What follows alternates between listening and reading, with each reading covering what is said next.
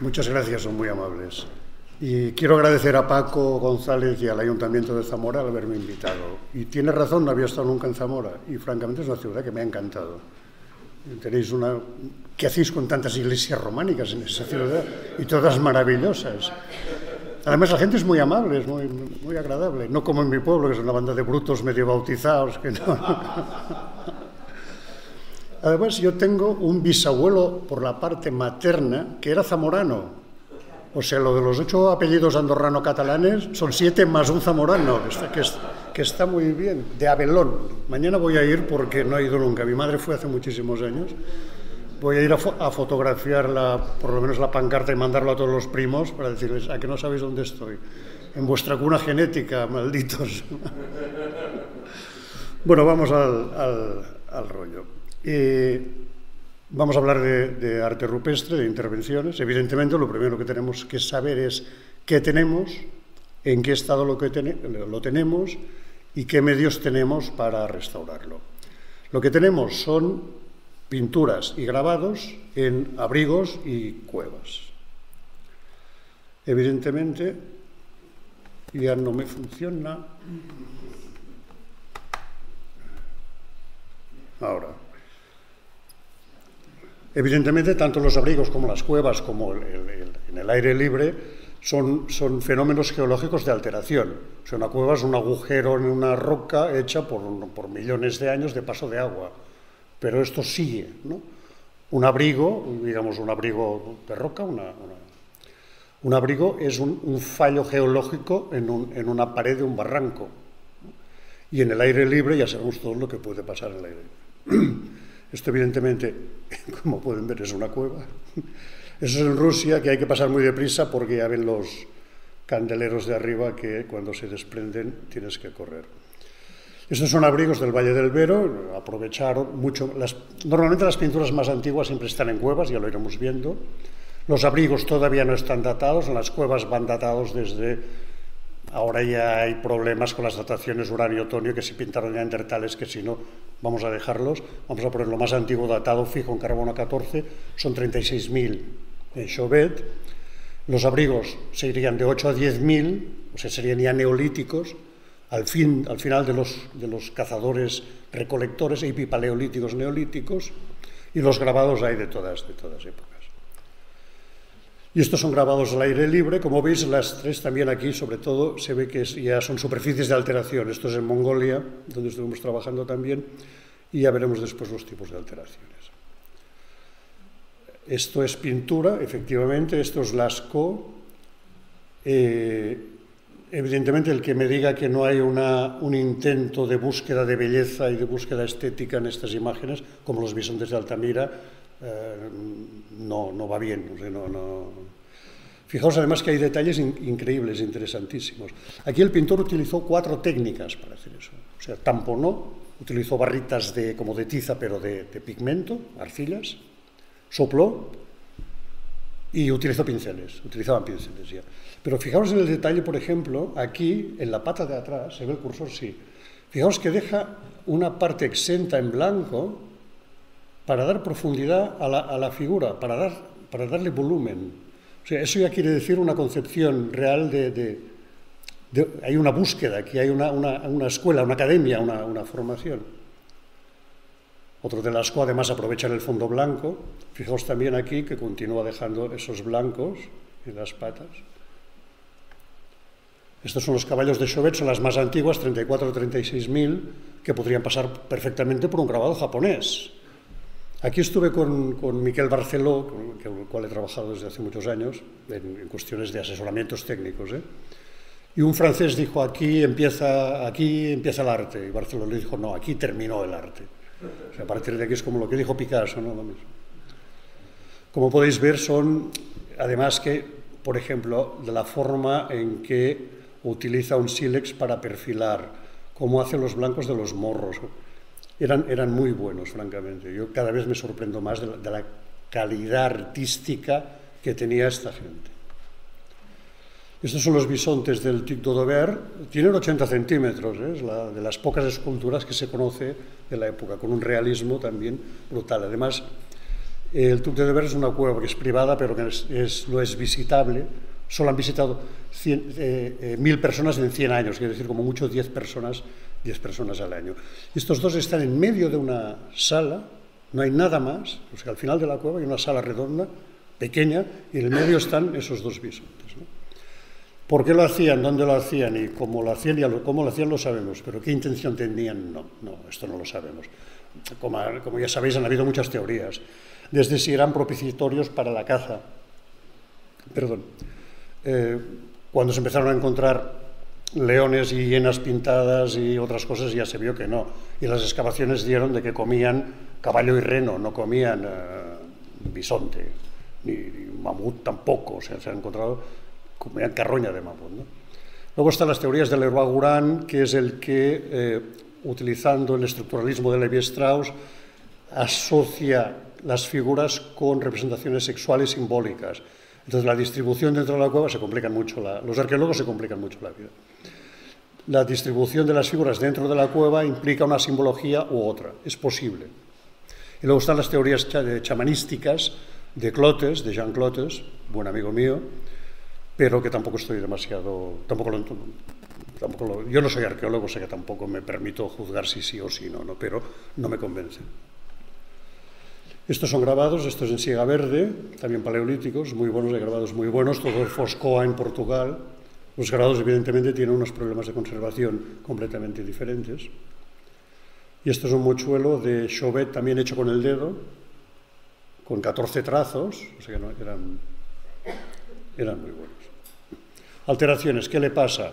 Pues antrópicas y naturales. Yo tengo un amigo que dice que los problemas de conservación del patrimonio en España empiezan con el 7600 porque la gente se mueve, se va de un sitio para otro y ahí uno deja un grafiti, otro visita, otro toca y te, toque, lo que no es, y así estamos, y sí es verdad. Y naturales que, como os decía antes, siguen un curso geológico de alteración, pues una... Esto es cueva de las cuevas. Las cuevas son elementos, ya sabéis que Altamira está cerrado, las cosas está cerrado, Chauvet y tal, ¿no? y se han hecho copias al lado.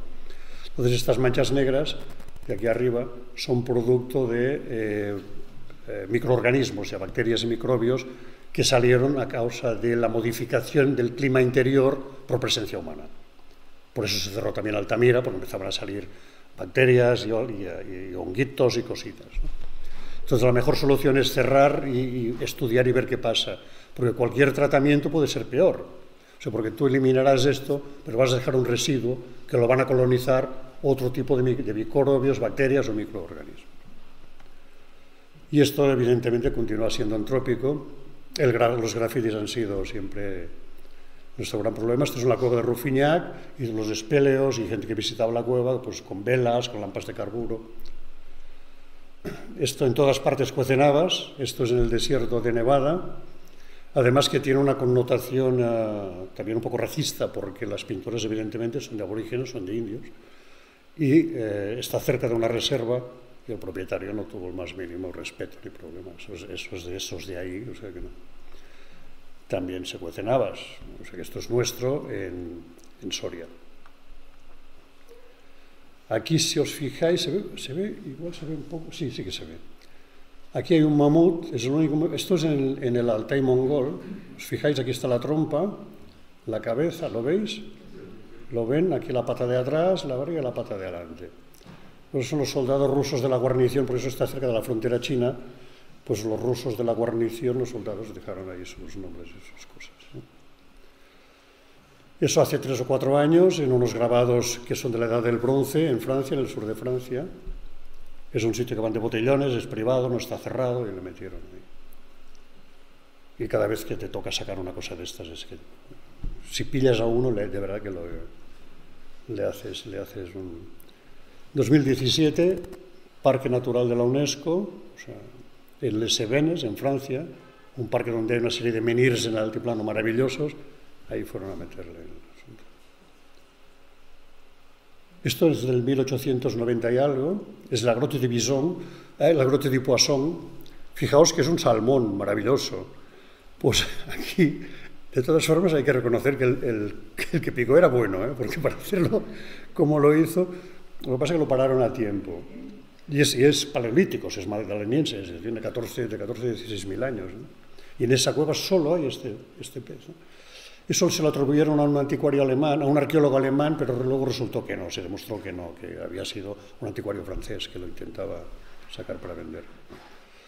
Eso en 1904, Cabré, en la roca de Calapatá, la roca de los moros de Calapatá, las arrancó de aquí, el arqueólogo Cabré, que fue, no, creo que era arqueólogo, pero bueno, un estudioso de las, de las pinturas de la época, en 1904 las arranca y están en el Museo de Arqueológico de Barcelona, esas pinturas. Les han hecho de todo. Y eso, aquí hay pinturas. No sé, debajo de cada mancha blanca hay una concentración de pinturas. Como más blanca es la mancha, más importantes son las pinturas. ¿Por qué? Porque las mojaban para verlas. Las mojaban con cualquier cosa. O sea, las, eh, tengo eh, tradición oral de que las he mojado hasta con una rodaja de pan con mayonesa, frotándolas porque así se veían mejor. Con la bota les han echado vino, les han, se han orinado encima, les han echado agua, les han echado de todo.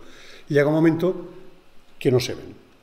Aparte de eso, los estudios, los arqueólogos en la época, hasta hace muy pocos años, hoy en día hay técnicas muy sofisticadas de documentación.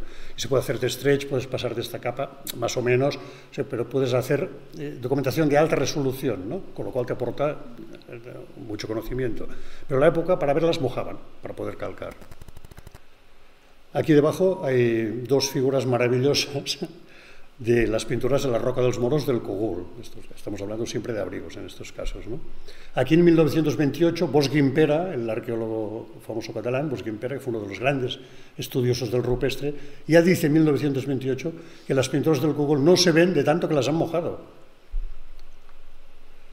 Aquí otra, esto fue de un arqueólogo francés, fijaos que las, son las piernas de un arquero, se ven bien, ¿no? Sí. Y fijaos que están eh, reseguidas, están perfiladas con lapicero. Eso lo hizo un arqueólogo francés, Braille, el Abbé Braille, otro de los grandes popes del estudio de, la arqueología de esta época, por como calcaban con papel vegetal aplicado encima, para que se viera bien, lo perfilaba y luego calcaba por encima. Así lo veía mejor. Nos costó sacar eso. Alteraciones naturales son procesos de, alteración de las rocas, lo que os decía físico, mecánico, químico y biológico. Interactúan todos, y esto es un, y las formas de alteración de la piedra es el libro que utilizamos para hacer las, documentaciones, que es lo que hacemos primero siempre, o sea, establecer una diagnosis, como, un médico, para saber qué tratamiento vas a hacer, tienes que saber qué material tienes, en qué estado está y qué puedes hacer para salvarlo. Eso son alteraciones, son naturales, o sea, concreciones que se forman encima, biológicas, esta es la cueva de Chufín, la otra era Nio en Francia, aquí van saliendo bacterias, las, las estamos controlando, sé que se van fotografiando cada año con una alta resolución y no se mueven de momento. Y eso también, eso ya es más complicado, son desplacamientos y caídas, gelifracción. Las, las, las, diferencias de temperatura dentro de los abrigos son muy bestias entre el día y la noche. Imaginaos un abrigo es un horno refractario, cuando le da el sol se calienta muchísimo, en la noche puede llegar a bajo cero. Entonces esto provoca pues, desplacamientos, asociados siempre a fenómenos de cristalización de sales, fenómenos químicos. Esto es un rodeno de, de, Alcañiz. Esto hace unos años no hubiéramos podido hacerle nada, hoy en día se puede trabajar con esto, se puede hacerle cosas. Esta foto la pongo porque me encanta. En Mongolia no tiene nada que ver, pero bueno, mira. Bueno, está, están esas cosas. En Mongolia el problema son las diferencias también de temperatura de día-noche y grabados. Es el gran corredor, el Altai es el gran corredor centroasiático de las migraciones de las poblaciones nómadas. Entonces hay mucha, hay muchísimos grabados, miles. Ahora el Sagan Sala lo han declarado Patrimonio de la Humanidad hace unos cuantos años. Estuvimos trabajando ahí con una universidad americana, muy interesante. Hay cosas muy bonitas, pero veis, el problema son esas fisuras, se pone el agua durante el día. En la primavera, cuando funde, también pasa en Andorra. Cuando funde la primavera, el agua se mete, se filtra hacia adentro y por la noche vuelve a helar y revienta. Intervenciones, limpieza y consolidación, no hacemos nada más. O sea, nosotros no repintamos, no retocamos como puedes hacer en un museo, si falta una cosita metes pintura. No, nunca, nunca. O sea, no modificamos nada. Os voy a enseñar la diferencia que hay entre... Esto es una pintura mural, una restauración de una pintura mural, arriba veis antes y abajo el, después. Estas son las pinturas que hice en la, en la Catedral de Albi hace unos años, no muchos.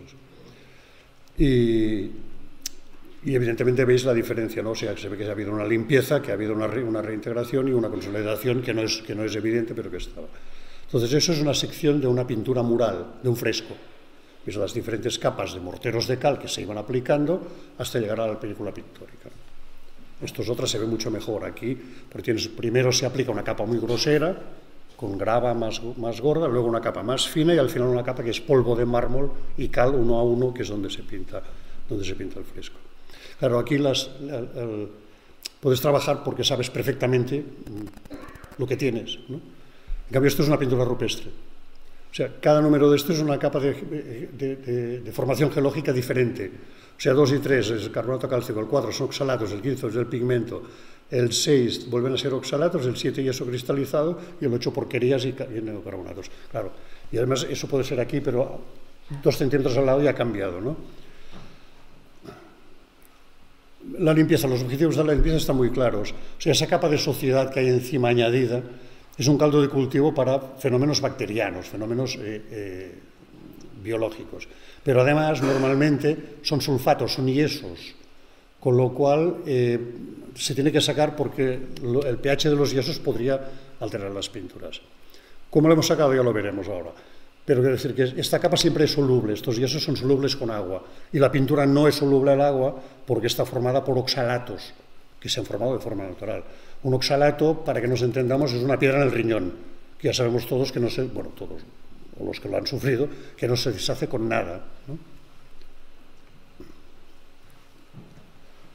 Al principio, cuando empezamos las limpiezas, intentamos limpiar con láser, lo hicimos con el Instituto de Patrimonio de Madrid, vimos que no, no nos interesaba el láser, primera porque es mucha materia orgánica y no funcionaba bien, y después porque puedes modificar los pigmentos, aunque sea ligeramente, te puede recalentar el pigmento. El láser siempre tiene tendencia a amarillar un poco o a calentar un poco. Lo que hacemos es limpiamos siempre, casi siempre con agua. Cuando digo con agua, quiero decir con aguas. O sea, hay aguas que funcionan y aguas que no. Su problema de ionización la interacción de lo que tú que tienes con lo que tú aplicas. ¿no? Entonces hay iones que funcionan muy bien y iones que no funcionan tan bien. Nunca lo hacemos con agua destilada, porque el agua destilada lo que nos haría es solubilizar lo que ya tenemos, lo que está en, solubilizar parte de la roca y cristalizarla en superficie, con lo cual crearíamos velos blancos. Vamos a pasar a las intervenciones que son más divertidas y así no os doy tanto la tabarra con, cosas de químicas y así. Esto es en el Sáhara, en el Sáhara español, en un abrigo que se llama la Cueva del Diablo, que es esta cueva de aquí, que es un sitio muy, muy venerado y muy de culto para los beduinos de la zona, y donde hay una presencia desde hace miles de años en este abrigo. Y los, han hecho la tesis varias gente desde las pinturas de aquí y tal. Y en una de esas visitas que hicieron se encontraron esto en el abrigo. O sea, los cascos azules de la región y estaban marcando puntos para helicóptero en la zona y dijeron, vamos a ver qué hay aquí dentro. no vieron nada y ya que tenemos el spray de marcar, pues venga, vamos a poner los nombres. Y aquí me pasó una cosa curiosa. Veis aquí que hay una, una inscripción en cirílico y les pregunté a mis colegas rusos, ¿qué pone? Y me dice, nada interesante. Digo, ya, ya, pero ¿qué pone? Dice, no, pone nada interesante. y luego lo veo, ni interito nuevo, así que no. Esto fue muy complicado para llegar aquí, era muy difícil, teníamos que ir al cuartel de la... Bueno, es igual, batallitas, ¿no? Y esto fue el resultado después de la, la intervención.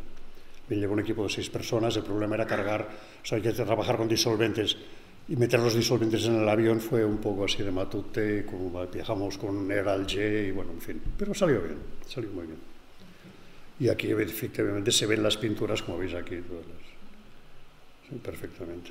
Son cubiertas de polvo, pero se ven. O que si se hubieran fijado un poco, los hubieran visto. Además que son todo, tuvieron represalias, ¿eh? fueron represaliados, muchos fueron no degradados, pero eh, les, les, frenaron el ascenso unos años, los, tuvieron, los rusos fueron muy drásticos en esto. Aquí también una pequeña maravilla. Al cerrar, al cerrar un abrigo, eh, cortaron la vía de una vía de escalada. Y entonces los escaladores nos regalaron con esto. Eh, no era pequeño, fijaos las dimensiones. Ah, entonces sacar esto es un, es un horror. Este es el resultado final. Y eso es la roca de los moros del Cogul, la que os he enseñado antes, que no se veía nada en absoluto. Y eso es la forma que trabajamos, una compresa de papel japón o de Kleenex con agua, la dejamos actuar un poco y luego con un pincelito, que es el que tiene aquí Laura, frotando con el pincelito muy suave, limpiando el pincelito. La pintura está muy bien fijada, por lo que os decía, por los oxalatos. De todas formas, siempre controlamos con un algodón por si en algún momento viéramos un poco de pigmento, que nunca nos ha pasado, pero lo hacemos. Y con una lupa de, dos a cuatro aumentos, eso depende de, de lo ciego que esté cada uno. Y aquí veis la zona limpia y la zona sucia. O sea, el argumentar de que esta capa protege y que además, que además ya sabemos que no, porque son sulfatos, y que esto es una protección de las pinturas y que, además dice que se podrían datar por uranio torio esas capas. Son, son, películas de sulfatos, es imposible datarlas, y si las dataras te, te, darían, te, darían, que son de 1900, o sea que no. ¿Qué pasa? Que cada vez que limpiamos algo, evidentemente, o aparecen figuras nuevas, o se modifican algunas, o aparecen superposiciones, o sea, hay una aportación arqueológica importante. Entonces hay gente que han tenido la, posición inteligente de decir, vale, el estudio que había hecho yo aquí ha quedado un poco obsoleto, lo reviso, además, al tenerlo así limpio, puedo aplicar nuevas tecnologías, puedo digitalizar imágenes, puedo aplicar stretch, puedo aplicar una serie de cosas que me van a aportar información importante, buena para la arqueología. Entonces, cojo mi monografía, la reviso, republico. Y eso es lo que ha hecho pues, tu hijo Antonio Beltrán, hoy Ramón Viñas, etcétera, etcétera, etcétera. Pero hay dos o tres que como les hemos variado demasiado sus calcos, entonces están completamente en contra porque cada vez que limpiamos algo, claro, en una aparece una mujer, aparece una figura de una mujer en una pintura que ya tú tienes publicada, pues o la revisas o qué haces, ¿no? Está clarísimo. Que al final yo creo que es muy positivo. Estamos abiertos a todo tipo de discusiones, pero cuando llegan a ser tan surrealistas ya dices que no. Ese es el resultado final. Es la zona que os enseñaba antes, era ese cuadradito de aquí. aquí hay dos bailarines. Así, lo estoy haciendo con el dedo, cada día soy más listo. Bueno, no hace mucho, no hace mucho. Me encontré con la lámpara iluminando la pantalla. O sea que la edad va haciendo de las suyas, la fatiga de los materiales, que se dice vulgarmente. Ese cuadrado y volvía otra vez, ¿eh? Joder, qué pesado que eres, tío. Ese cuadrado de aquí es lo que os he enseñado antes, que os decía de Bosque Impera. Eso es un barranco de Capsanes, también, aquí debajo están las pinturas. Aquí ya se ve que hay una pintura, lo veis, una pintura muy, muy sucia. Y es una escena muy interesante porque es una matanza, pero no es una, no es una guerra, ¿no? es una trampa y una matanza. No llevan arcos ninguno, y fijaos que tienen flechas clavadas, se la tiene por aquí, o se la tiene por aquí. Y bueno, claro, aportamos aquí, apareció la, la matanza. Esta es la escena general, es pequeñita, no es demasiado grande esta escena. Eso fue una de las primeras intervenciones que hicimos en los mamuts de la Grotte de Rofiñac en Francia, ya veis un antes y un después. Eh, hubo un poco de polémica porque Barry había sido un geómetra, es un topógrafo de Luis XIV. Entonces, estaba documentado además, claro, decía, oh, es que es un hecho histórico y el, propietario de la cueva, en Francia muchas cuevas son privadas, les dijo, vale, pues entonces quitamos los mamuts y dejamos a vuestro barrio. ¿no? Y eh, delante de este argumento bastante de peso, aquí, premio, ¿veis aquí se ve una cabeza de un caballo? No sé si la veis, ¿no? Las dos orejas, el ojo. Y aquí está la cabeza del caballo. Esto es después de la, de la limpieza. Evidentemente en las cuevas y en los abrigos tampoco, pero nunca, nunca, nunca tocamos un trazo de pintura para nada. O sea, aquí limpié todos los grafitis llegando hasta la línea del original. Si os fijáis, esos puntos de aquí es que están un par de milímetros, cada, cada espacio más grueso es de que está el grafiti y me he parado dos o tres milímetros antes de la línea original. Siempre. Esto fue una cosa muy curiosa, en la gran grota de Arcy-sur-Kir, pues veíamos esto, que se intuía que había algo. Los infrarrojos nos dieron un oso maravilloso, un oso de las cavernas, fantástico, inmenso. Y luego con una, hicimos pruebas para ver cómo lo hacíamos y al final con una, una fresa de punta de diamante esférica, rebajando, con mucho cuidado, rebajando. ¿Cuál es la ventaja? De que la, eh, la pintura está protegida por una capa de calcita transparente, un poco amarillenta, que tiene prácticamente de 1 a 3 milímetros, con lo cual es como si tuvieras un barniz de protección. Evidentemente, si apretaras la fresa te la pasarías. Pero quiero decir que se puede hacer una intervención muy interesante. Y aparecieron una serie de figuras. Este mamut tiene un metro ochenta y cinco de aquí a aquí. O sea que es increíble. Aquí otro mamut en negro. Todo esto fue apareciendo. Aquí el oso, el oso de referencia. En esta cueva estuve trabajando, he estado trabajando 19 años cada mes de septiembre. Empezábamos en mayo, pero en mayo no me gustaba porque no habían setas. Entonces lo les dije, ¿habrá que hacerlo en septiembre? en septiembre, en septiembre. Tampoco, a veces es complicado trabajar. ¿eh? Aquí estoy con la fresa metido en un agujero. Eh. En el fondo aquí el pintor tenía 30 centímetros, de aquí. O sea, para girar la cabeza tenía que apartarme el frontal, girar la cabeza y ponerme el frontal otra vez. Y el tío pintó un mamut, perfecto, no lo veía, ¿eh? y pintó, y, lo pintó además con, con, motas dentro, imitando los, los pelos del pelaje del mamut. El caballo que os he enseñado antes, mide un metro sesenta, creo, este caballo, y el, que lo hizo tenía 70 centímetros del suelo original al techo, con lo cual nunca lo vio entero él. Y fijaos que está de las proporciones. Eh, por eso os decía antes que eran muy, muy buenos. Consolidaciones, bueno, las consolidaciones, pues no utilizamos ninguna resina sintética, utilizamos materiales a, partir de hidróxidos cálcicos de cal. Hace unos años salieron las nanopartículas de hidróxido cálcico, con lo cual nos permiten trabajar en, en, en pulverulencias y en situaciones muy complejas que antes no hubieran podido trabajar, hoy en día se puede hacer. Un invento alemán que funciona muy bien muy bien, que además están probadas, testadas y tal. Y además la gran ventaja es que si pones una resina sintética, modificas la morfología original de la piedra. Con lo cual, la interacción entre de humedad, temperatura, absorción, todas esas cosas ya viene modificado. Y a la larga, con los años, esto puede ser, puede ser malo para la piedra, puede ser nefasto incluso. En cambio, un hidróxido cálcico lo que acaba siendo es un carbonato, es cal, acaba siendo un carbonato cálcico con lo cual no te modifica la, no te modifica la roca para nada, con lo cual la interacción es buena y pones un material que es, o sea, que no hay rechazo por parte de la roca, es perfectamente compatible. Esto es una, estucada de morteros, los morteros se hacen pintura mural igual. Luego, cuando quedan muy blancos, los entonamos un poco, pero nunca vamos sobre la pintura, como os decía, entonamos con pigmentos naturales, ligeramente ocreados, las pátinas, ya está es una, fisura grande con morteritos aquí metidos, señalando con el dedo cada día.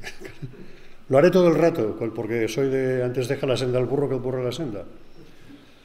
Inyectando hidróxido, eh, nanopartículas de hidróxido cálcico.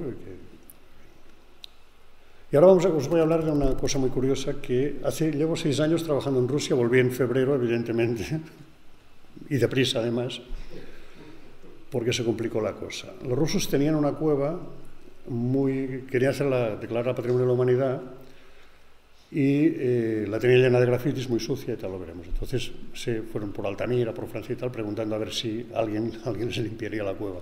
Entonces dijeron, el que limpia cuevas es Guillamet, habla con él.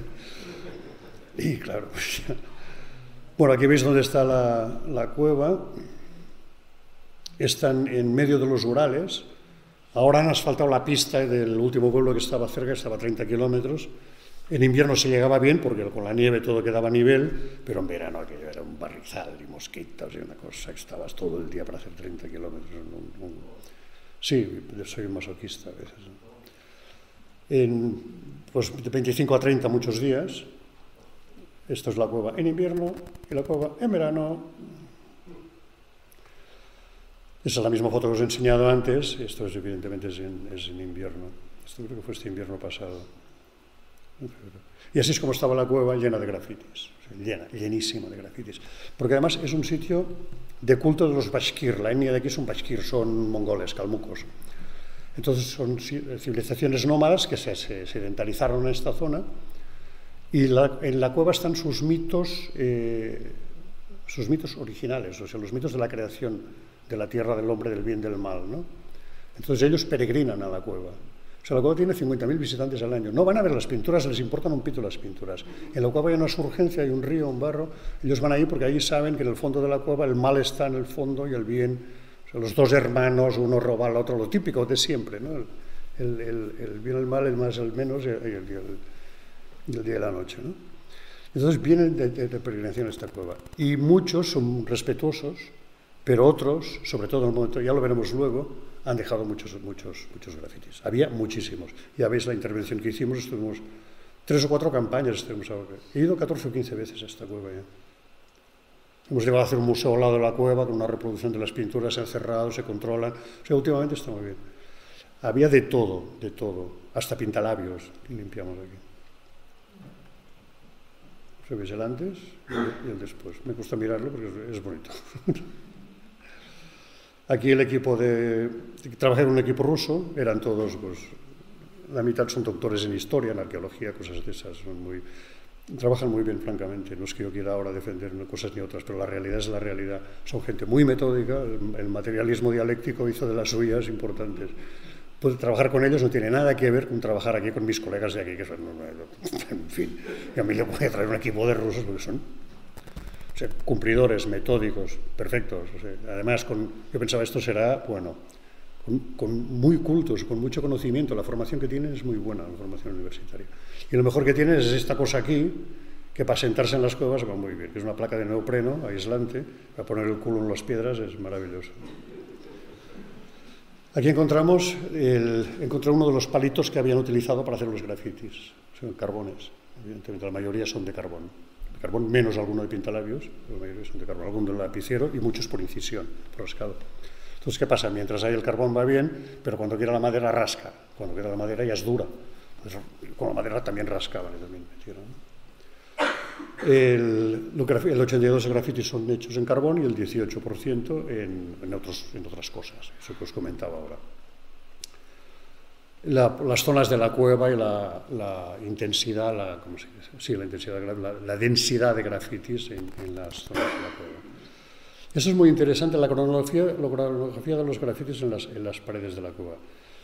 Fijaos que del 30, a partir de los 30, entre 30 y 40, Stalin rusifica la zona. O sea, los bashkir es una etnia de las, de las, digamos, para los rusos de segunda, porque son los, los asiáticos, entonces Stalin intenta rusificar toda esta zona. Lo consigue en la capital, más o menos ahora hay mitad y mitad, pero no lo consigue en las, en las zonas rurales. En zonas rurales es muy duro vivir en esos bosques, está llenos de osos. Después de Kanchatka, las concentraciones de osos más grandes del mundo están aquí. Es un parque natural muy grande donde está la cueva. ¿eh?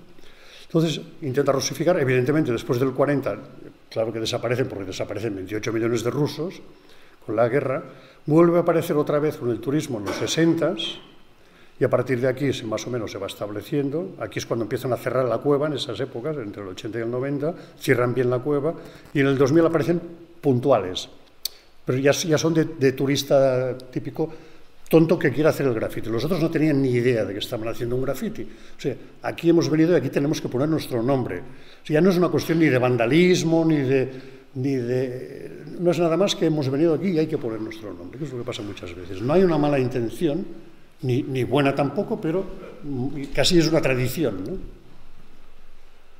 Esto es un poco las, si os fijáis aquí, bueno, ahora las veremos en detalle, son las pinturas de la cueva rusa. Aquí hay un mamut, está muy, borra, muy, muy borradas, no están muy alteradas. ¿Veis el lomo del mamut, la cabeza, las defensas, los, las defensas son los colmillos, la pata y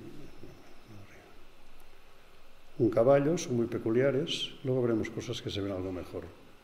Otro mamut aquí, aquí tenéis la cabeza, pero pensad que estamos a, a 4 o 5 mil kilómetros y estamos encontrando, estamos encontrando caballos, estamos encontrando mamuts estamos encontrando, aquí es un rinoceronte, aquí tiene... O sea, aquí está lo raro, ¿no? que, es lo que están estudiando los arqueólogos. Además, son de la misma época, 14.000, 16.000. Claro, nos encontramos. Aquí está, todo está en, en el Valle del Ródano, que está Chauvet, luego está la cornisa cantábrica y luego la zona de Burdeos con la Valle de la Besère, donde están las de Gomer, todas esas, Rufiñac. Pero claro, vete a la otra punta del, Eso es la cosa que les tiene. Unos signos raros también que hay por ahí, que se parecen un poco a los tectiformes nuestros, cosas extrañas. Es otro panel. Aquí se ve, se insinúa un bisonte, si os fijáis, se nota más por el lomo, y por aquí por la, por la barriga y por la, por la panza. Otro mamut. Claro, esas cuevas son, son muy grandes, hay muchas diferencias de temperatura, muy bestias. Bueno, este es el panel, el panel en cuestión, el panel donde, que os quería comentar, donde trabajamos más. Este es el panel tal como está en la actualidad. En este panel han habido tres intervenciones. En los años 80, un arqueólogo que estudia la cueva, Bader, que está estudiando las pinturas, se le ocurre hacer un test aquí, la capa esta de aquí encima es muy blanda, entonces levantando esta capa le aparecen pinturas. hombre, contentísimo, va levantando todo y aparecen todas las pinturas. Entonces, eh, en los años, aquí se empieza a formar una colada blanca, con 40 años, porque la cueva es, activa, y bueno, si, no sacas el agua, el agua que la escorrentía de agua continúa formando sales. Entonces, y en los años, y en el 2010, vienen unos eh, moscovitas que intentan limpiar, restauradores de Moscú, que intentan limpiar la colada blanca, no lo consiguen y limpian esta zona de aquí. Y en esta zona de aquí aparecen esto que parecen unas patas. A mí me decía un arqueólogo que podía ser un antropomorfo, un humano. Dijo, sí, y con las rodillas para atrás, ¿no? si esto es un humano agachado, pues no está el hombre, tenía un problema, ¿no? Entonces, eh, ya otro arqueólogo ya apunta que podía ser un cuadrúpedo, pero no saben de qué, cuadrúpedo se puede tratar. Aquí se ve un caballo, los restos de un caballo, uno de estos signos extrañísimos, que los chicos que trabajan conmigo les llaman papeleras, de son canastos, y aquí se ve la forma de otro caballo. Entonces Bader pues lo deja de esta manera. Aquí es la intervención que hacemos nosotros, que es limpiar toda la colada y ese trozo de aquí que nos pidieron los de la Academia de Ciencias que limpiáramos este trozo. Aquí ven las tres intervenciones, la que hizo Bader en rojo la primera, en verde la que hicieron los moscovitas en el 2010, restauradores, y en amarillo la que hicimos nosotros. Antes de hacer nada, documenté todas las alteraciones, hicimos fotos de todas las alteraciones y antes de empezar vimos a ver si se podía desviar la colada. ¿Qué pasa? La, eh, pared es así, ¿eh? donde están las pinturas, y el agua baja, desde un, sale desde un par de puntos de aquí y baja la pared. Mi experiencia en otras cubas era que si cortaba aquí mínimamente, el agua hace gotera en lugar de bajar. Pero mínimamente, o sea, a veces con dos puntos de dos milímetros de, silicona consigues que, baje. Entonces hicimos la prueba de poner una silicona en, la surgencia y evidentemente el agua cae aquí. ¿Qué hay que hacer? Controlar esta silicona. Además, ¿qué pasa? Esta silicona es reversible, tú la tiras así y te la llevas, pero ya, ya hace que el agua, al no, ¿qué pasa? Que al no, al no haber la colada de agua, automáticamente ya no se formará la concreción blanca. Pero son cosas que hay que, hay que controlar. Aquí es cuando hice las pruebas con una esponja de, desviación y eso es la silicona que pusimos que no tiene ni 10 centímetros. Bueno, una vez eh, controlado esto, ya detalles de todas. Claro, ¿qué pasó? Cuando hicieron la primera intervención, el primer levantamiento de esas capas de calcita, las herramientas de la época eran cinceles, eran gubias, eran formones, eran cosas así, ¿no? Trabajaron como pudieron.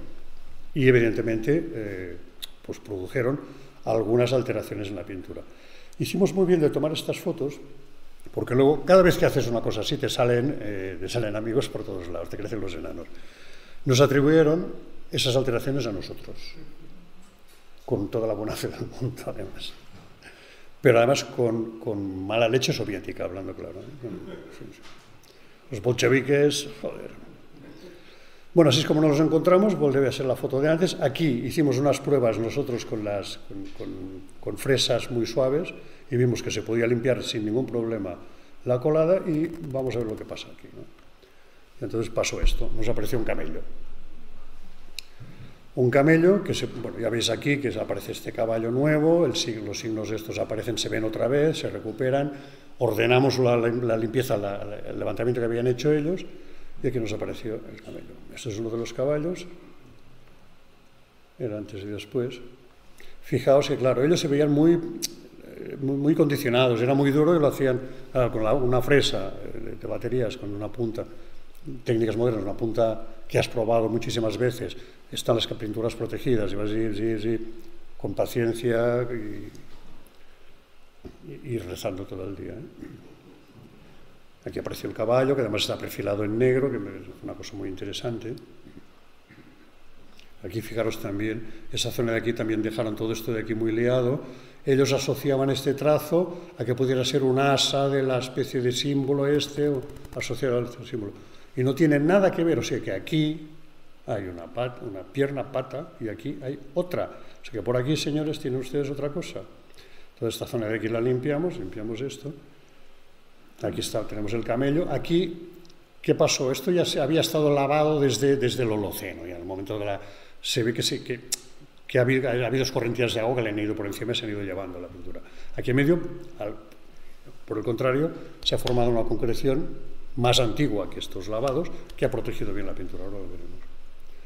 Veis aquí la, parte derecha, que está lavado, la parte de aquí también está lavada, lo que levantamos nosotros. Eso de aquí lo dejamos para muestra, para muestreo, y en, la parte central está impecable. Fijaos que hasta tiene los pelos de la barriga, aquí, y en el morro también tiene un trazo así.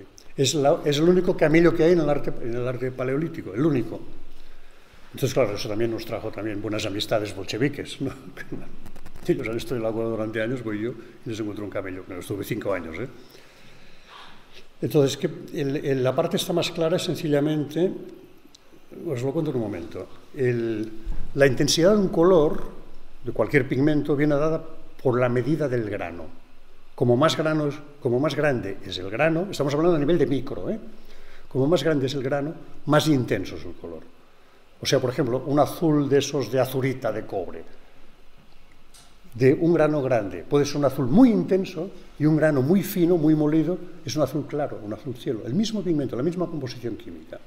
¿Qué pasa? Ellos pintan el pigmento rojo, cuando lo aplicas, las partículas más finas penetran dentro y las más grandes, que son las que dan el tono, no penetran tanto por, porosidad, o sea, por un agujero pequeño entre una, una partícula pequeña y si es una partícula grande se queda fuera, ¿no? o se queda en una capa más superficial. ¿Qué pasa? Al lavar, al caer el agua, se lleva las partículas grandes, que son las que dan intensidad al tono, pero las pequeñas quedan incrustadas en la roca, que es estas zonas, estas ya vuelvo con el dedo, esas zonas más naranjadas que veis aquí y aquí. En cambio aquí, que fue la calcita fijó completamente, aquí no se lavó, se empezó a formar cosas geológicas, ¿no?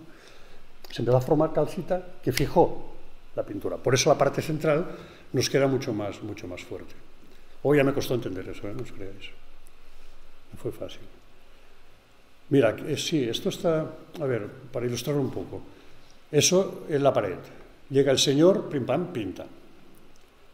Llega el preholocénico, o sea, hace 14-15 mil años, hay una humedad mm, recurrente, una humedad eh, periódica que va formando esta capa de calcita. ¿Qué pasa? Llega el, Holoceno, hace 10.000 años, 10-11.000, es cuando se funden los glaciares y cuando hay agua por todos lados. ¿no? Entonces empieza a bajar el agua por aquí y empieza a lavar. Esta zona del medio ya está fijada por la carbonatación anterior, empieza a lavar estas zonas hasta que llega un momento que se recubre todo. Y el recubrimiento este más externo era un tufo muy blando, o una piedra tosca, como esas piedras, era de, cal mezclada con barro, o sea, con carbonatos, así, se deshacía muy fácil, muy blando. Los pigmentos, vimos que el rojo, para hacerlo más intenso, le mezclaron eh, carbón, negro, eh, carbón molido. Con lo cual, claro, cogía mucha más, mucha más intensidad. Y esto ya, y aquí es, bueno, aquí no sé por qué esta foto, francamente, mm, lo estaba arreglando antes y no sé por qué la he metido aquí, porque ya la hemos visto antes, pero bueno, no, eso es lo que tenemos ahora ya al final. Ya está lo del camello. Y eso ayer lo comentaba con, con Paco González, eso ya es otra cosa, ya hemos dejado Rusia, hemos vuelto, gracias a Dios. Y eso es la cueva de la Pasiega, donde estoy trabajando ahora, y la cueva de la Pasiega en los años 50 adaptan la cueva, 50-60, adaptan la cueva para las visitas. Entonces, ¿quién lo hace? Los peones camineros que estaban haciendo la carretera en esos momentos de ahí. ¿no? Entonces, pican por la cueva, rompen estalactitas, hacen caminos para que la gente pueda pasar. Entonces, salpican de barro toda la cueva, de barro y de cemento y de otras cosas. Entonces, eh, lo que hacemos ahora es quitar todas esas manchas de barro las manchas de cemento, sin tocar evidentemente las pinturas, si una mancha de barro está en una pintura, ahí se queda. Pero fijaos, por ejemplo, lo que puede llegar a molestar un punto negro o un punto blanco sobre una figura. Fijaos lo, que llega a molestar este punto negro de aquí, estos dos puntos negros de aquí, la diferencia que hay de una a la otra, y esos de aquí. ¿no? ¿Qué pasa? Que nuestra mente, por, por la Gestalt Psychology que se le llama, primero ve lo que te estorba, o sea, ves figura sobre figura. O sea, tú primero ves el punto negro y después ves la cabeza del caballo. En cambio, en esa foto de aquí, lo estoy tapando, ¿eh? en esa foto de la derecha, ves perfectamente la figura del caballo sin interrupciones. Entonces yo creo que cualquier injerencia estética en la lectura total del conjunto, es importante eliminarla, incluso para los arqueólogos, para que comprendan bien eh, dónde pintó, en qué, en qué, ambiente, cómo se inspiró, porque no llegaban a la cueva y pintaban donde, querían, no, escogían muy bien los sitios, sabían muy bien lo que iban a poner, llevaban un proyecto previo. Aquí, por ejemplo, el, ¿sabéis que os he dicho antes que había un francés que había perfilado, que Ave Braille? Este estudió aquí también, estudió las cuevas estas, y aquí no perfiló, evidentemente, pero para hacer los calcos y que se le aguantaran, puso esas masillas que analizamos y es cal. Pero luego arrancó el calco y dejó las masillas. O sea, aquí te las quedas. ¿no? Y lo que os decía antes de los puntos blancos, fijaros la, la diferencia. Sea, aquí solo ves puntos blancos y ves de, detrás un tectiforme y aquí ves un tectiforme. Aquí exactamente lo mismo. Se pudieron limpiar muy bien porque la pintura está completamente carbonatada. O sea, si alguna vez vemos algo que puede poner en riesgo la pintura, aunque sea una décima de milímetro, no tocamos. O sea, con esto no, se juega. O sea, lo que vas a hacer, o estás seguro de que, va a salir bien, o no lo hagas. Los experimentos no, en casa y en caseosa, que decía aquel, ¿no? Aquí lo mismo. Aquí ves una cosa, una cosa, un signo con cosas sucias y aquí ves el signo, sin ningún problema. El panel de los tectiformes, que se lo comenté a Paco, aquí es una zona muy complicada de la cueva, no es, no es accesible al público ni, ni, ni, de lejos. Yo estuve dentro, un mes estuve aquí dentro metido. Entonces, ¿cuál es el problema? Que este panel está aquí y la roca baja así y resbala mucho. Entonces la gente se apoyaba en el suelo y se apoyaba aquí.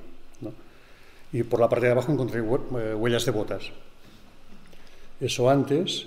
Hicimos unas pruebas que se ven aquí, porque aquí el problema era, no era tanto quitar el barro, porque el barro se va con agua, lo sabemos todos, sino guardar las pátinas originales. Las pátinas a veces son muy ligeras, muy suaves, pero claro, si te llevas la pátina original, desvirtualizas completamente el, el, contexto de la obra. O sea, no puedes modificar el fondo. Tan importante aquí es el fondo como la figura. No puedes modificar el fondo donde pintó el artista, el artista paleolítico, no puedes en absoluto. O sea, si ves que tu intervención va a modificar el fondo, no la hagas. Entonces vimos que aguantaba bien y eso es después de, de la intervención. Un mes, ¿eh? Y salí, bueno, salí así, no, es que saliera lo que ya estaba un poco. Eso es el pendo, antes, y el pendo. Aquí sí que tuvimos que tocar la pintura, pero la pintura no, o sea, limpiamos con pinceles muy suaves de Marta, lo que hay encima eran microorganismos todo. Hicimos un tratamiento, sacamos muestras, evidentemente, las mandamos a dos laboratorios a analizar, nos dijeron qué bichos eran, bueno, bichos, qué, qué organismos eran y cómo los podíamos matar. Pulverizamos y al cabo del año, al año siguiente vimos lo que había pasado y prácticamente soplando eh, salió todo. Y eso es el pento después. Y eso es como trabajamos en las cuevas, es Raquel Asiain, la chica que trabajó conmigo. Fijaos la cantidad de trastos que puede llegar a tener esta chica en la mano. Uno, dos, tres, cuatro, cinco, seis cosas trabaja. ¿no? Y con esto y un bizcocho, señores, ha sido un placer.